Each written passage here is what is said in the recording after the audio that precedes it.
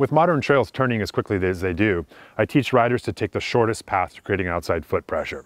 So essentially on one side, we're creating a back foot turn, and on the other side, we're creating a front foot turn. So we're gonna talk a little bit today about front foot and back foot turns and why riders sometimes tend to struggle with their front foot turn.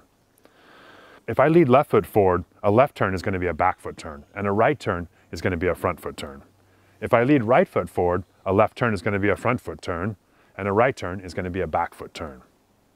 Riders often have a really hard time with their front foot turn. This is because we stand asymmetrically on the bike. Pretty much all riders only lead with one foot. So when I'm standing on my bicycle, my back foot is right underneath me. I'm standing almost directly over the pedal spindle and it's actually quite easy to create control of the back foot turn.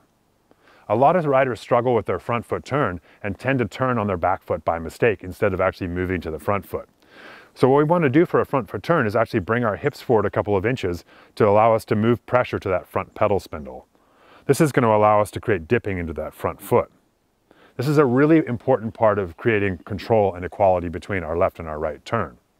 So go out and give this a try. Maybe get a buddy to film you or something and work through a series of turns and make sure that you're actually moving down into your back foot and then on the next turn in the other direction, you're moving into your front foot. A lot of riders have a tendency to just stay on their back foot all the way down the trail. And this really creates a situation where we don't have a lot of front end control because on our front foot turn, we need to be driving into that foot to create compression into the fork and weight on the front tire. After you bring your front foot turn up to the quality of your back foot turn, your riding will never be the same.